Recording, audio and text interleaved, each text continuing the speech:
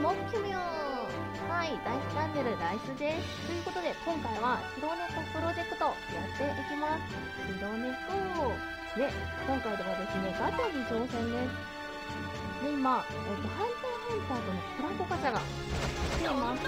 これねハンターハンターコラボ記念ガチャ。これをですねぜひこの新キャラゲットしたい。で今回キャラクターとして出てくるのが、えっと、ゴン。お前ももうお休み？そしてヒルア。新速ね。で私がクラピカさんが一番欲しいです。クラピカとレオリオ。でヒソカがいてユケメテロ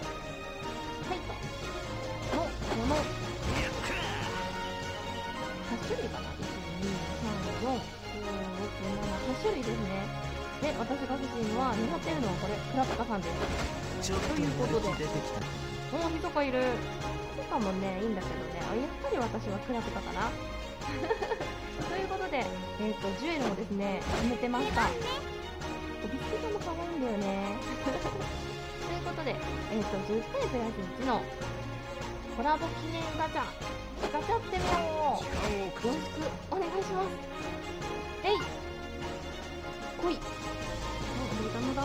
入ってからの金金1 2 2 2 3 4 5おどうだっけあ最後6いた6は私の中で多い方です。やった。6だね。何か来るから。はいまずは入るは ね。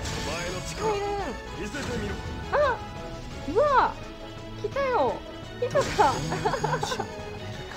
ゲットえでもクラピカさんがいいずっとハイルンになってるよハイルンあールンハイルンやってくれないのかなちょっとお願いしますはいお願いあーはなかったけれどでも今回のねコラボのひそかゲットしました。謎の記述師ひそか HP209SP68 からの。キャラクターですねこれ育てよう。